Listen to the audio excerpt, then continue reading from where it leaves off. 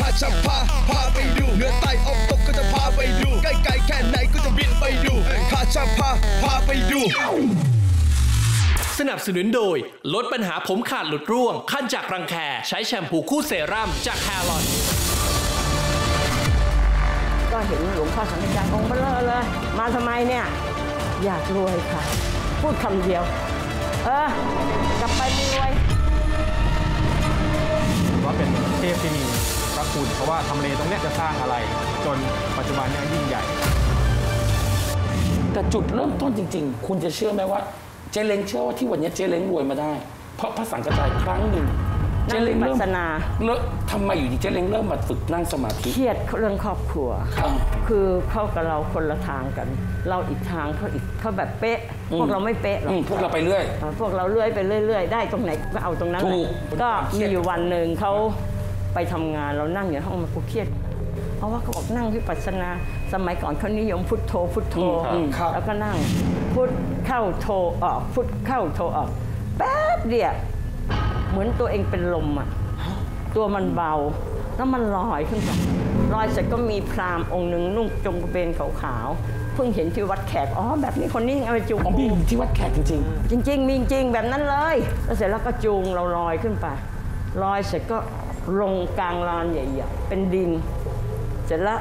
ก็เห็นหลวงพ่อสังฆจายองค์เบลอเลยๆพระสังฆทานมีชีวิตไหมฮะ ไม่มีแต่ว่าองค์ใหญ่จะพูดได้ พูดกับเราพระสังฆทานพูดได้ เออบอกว่ามาทำไมเนี่ย อยากรวยค่ะ พูดคำเดียว เออ กลับไปมึงรวย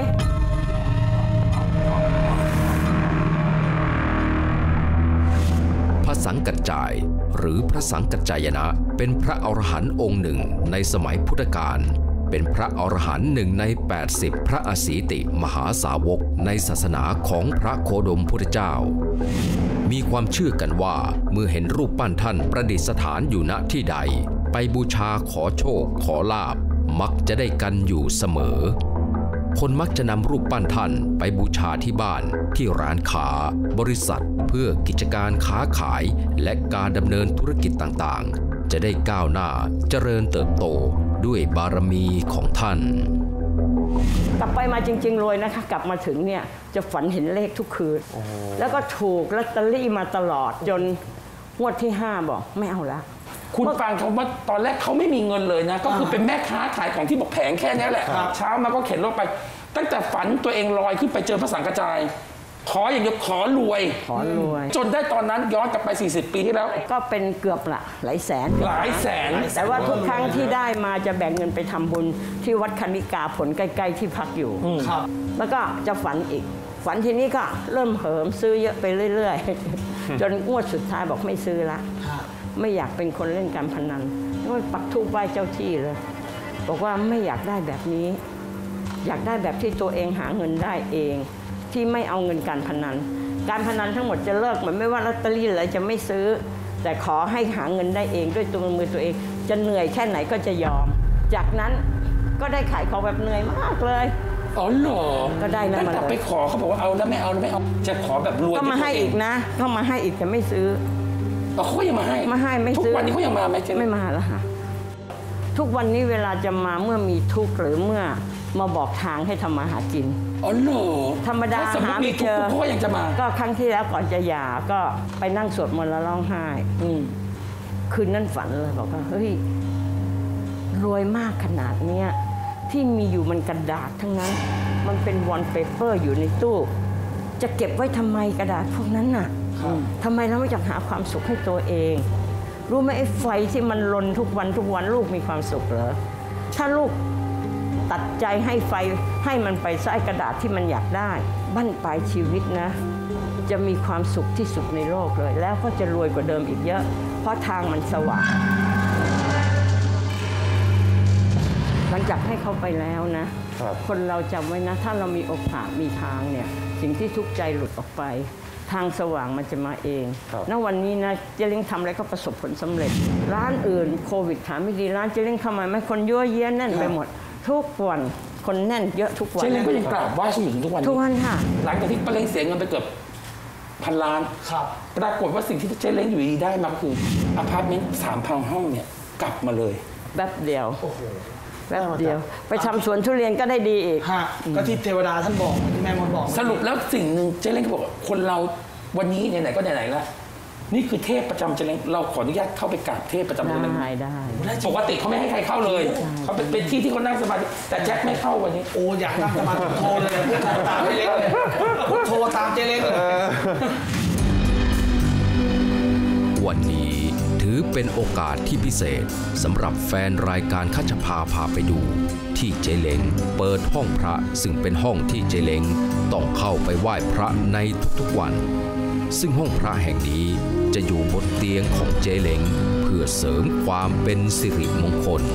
ป้าเล้งครับพระสังกระจายในความฝันของป้าเล้งป้าเล้งเห็นเป็นยังไงครับเป็นองค์อ้วนๆอย่างนี้เลยองค์อ้วนๆใหญ่ๆอย่างนั้นน่ะนั่งยิ้มข้างนี้เลยที่สีทองโอ้องค์ไหนที่มีสร้อยห้อยอยู่นั่งเตียนๆน่ะอ๋อเหรออ๋อใช่ใช่องค์นู้นด้วยรีบน่ะวงรีบวงใช่ค่ะที่ยืนอยู่เหรอใช่นั่งนั่งอ๋อทุกวันนี้ป้าเล้งยังมีโอกาสเจอเขาอยู่ไหมฮะ ไม่เจอแต่จะเจอพราหมณ์ที่มาบอก ก็คือพราหมณ์พราหมณ์ที่ใส่ชุดเหมือนในบท ยังเจออยู่ เจอเจอทุกวันนี้ก็ก็ยังจะมาเป็นแบบ บางทีก็มากระซิบข้างหู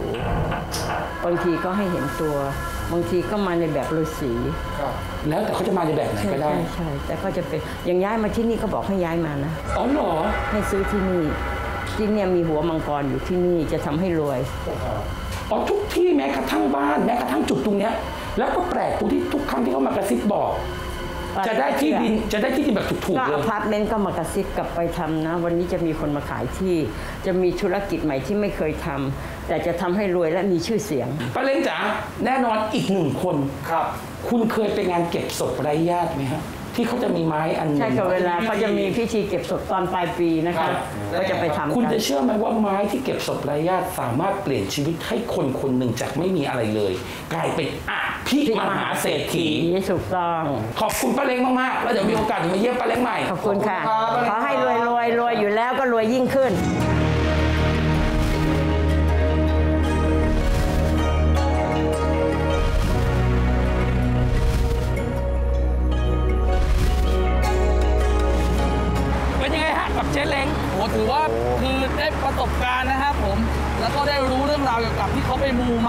แล้วขอมาแล้วก็ได้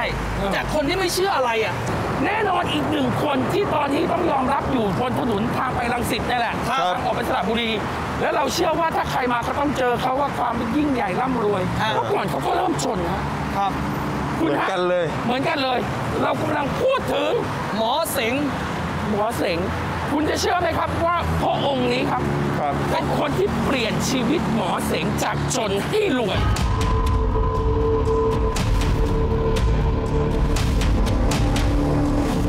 แต่ก่อนต้องบอกว่าหมอเสงนี่ไม่ได้รวยนะไม่ได้ฮะรวย แล้ววันนี้เรามาอาณาจักรของเขาที่ใหญ่โตมากๆคือเอาเอาง่ายๆแม่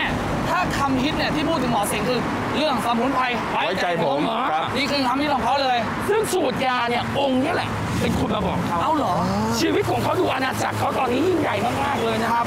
เพราะองค์นี้คือองค์ลือซุนเอี้ยงโจซือครับ ถ้าสมมติจริงๆเขาถามว่าองค์นี้มาจากไหน องค์นี้อยู่ในแปดเซียน ครับ และองค์นี้เกี่ยวกับการเก็บศพไร้ญาติด้วย ถ้าอย่างนั้นเดี๋ยวเราเข้าไปกราบกันก่อนไหมฮะ ได้เลยครับ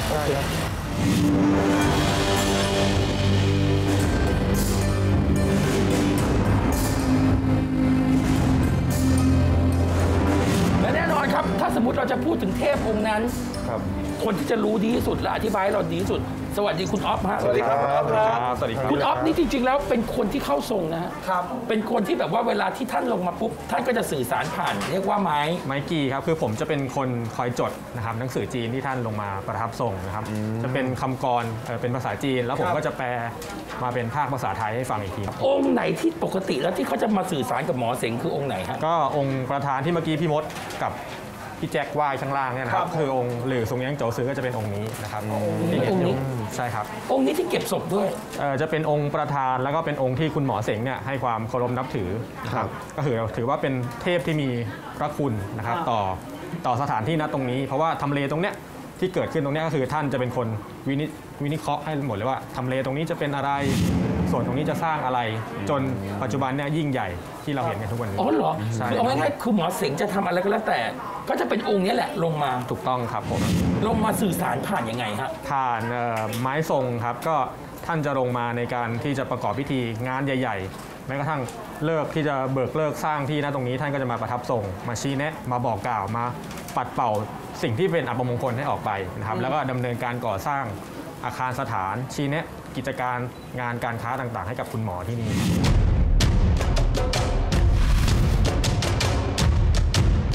เขาจะลงมาทุกวันอาทิตย์ครับทุกวันอาทิตย์เนี่ยเขาจะลงมาองค์เนี้ยจะลงมาอ๋อแล้วก็จะมาลงผ่านไม้กีใช่ครับ ไม้กีคืออะไรฮะ ไม้กีก็จะมีลักษณะเป็นคล้ายๆ กับตัววีคว่ำนะครับ ก็จะมีเอ่อสองคนในการที่จะประคองไม้นี้นะครับก็คือมือขวากับมือซ้ายในการที่จะประคองไม้เนี่ยครับเจ้าท่านก็จะมาลงมาขีดเป็นตัวอักษร ผมก็จะมีหน้าที่คอยจดหนังสือจีนแต่ละตัวแต่ละตัวนะครับรวมมาเป็นความหมาย แล้วก็ถ่ายทอดออกไปอีกทีหนึ่งว่าวันนี้ เทพองค์ใดลงมามาชี้แนะเรื่องอะไร ถ้าพูดแล้วองค์นี้แหละ ที่เปลี่ยนชีวิตหมอเสงให้จากจนๆกลายเป็นอภิมหาเศรษฐีคือองค์นี้ ถูกต้องครับ เป็นเทวาจารย์ที่ทรงคุณให้กับเอ่อธุรกิจของคุณหมอเสงแล้วก็บริษัทหมอเสงไทยแลนด์ถ้างั้นเดี๋ยวเราไปคุยกับหมอเสงวันนี้ขอบคุณคุณออฟมากมากๆครับครับครับครับสิ่งหนึ่งเนี่ยผมทำอะไรเนี่ยนะที่เป็นกุศลนะพระอาทิตย์จะทรงกฎ สนับสนุนโดย ลดปัญหาผมขาดหลุดร่วง ขั้นจากรังแคใช้แชมพูคู่เซรั่มจากแฮร์ลอน